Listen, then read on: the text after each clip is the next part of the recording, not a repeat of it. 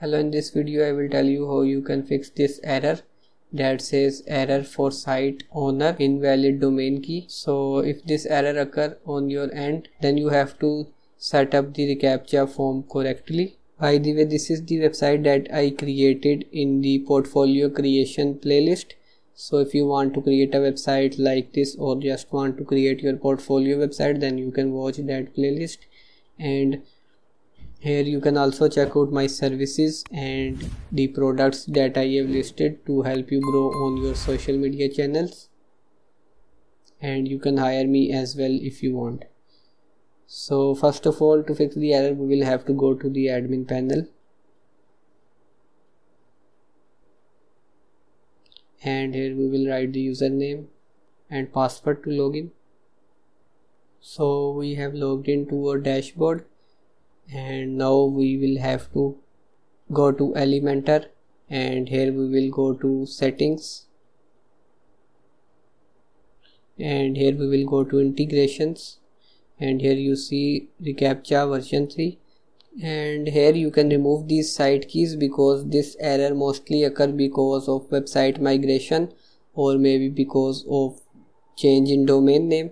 So you can just remove the site key and the secret key and now we will have to add them again. For that we will have to go to google and we will search google reCAPTCHA.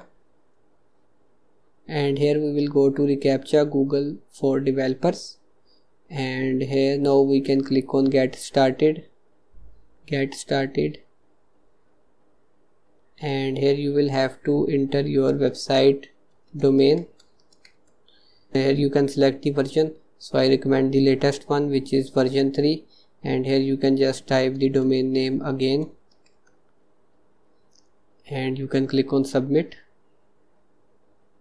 And here you will see the site key and the secret key. So you can copy the site key and you can add in site key over here. And then you can copy secret key and add it over here. And then you can scroll down. And here you can click on save changes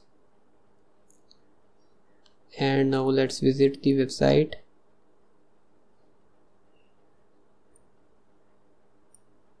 And here you can see that the error is now gone and it says protected by reCAPTCHA now we can try to submit the form again